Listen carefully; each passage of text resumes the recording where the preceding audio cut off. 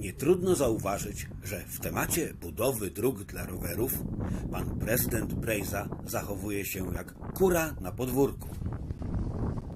Znów buduje drogę donikąd, czyli odcinek 284-metrowy kończący się nagle.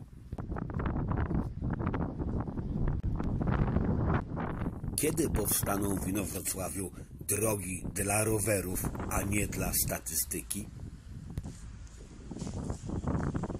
Czy takie właśnie kwiatki są w koncepcji ścieżek rowerowych przygotowanej przez firmę z drugiego końca Polski?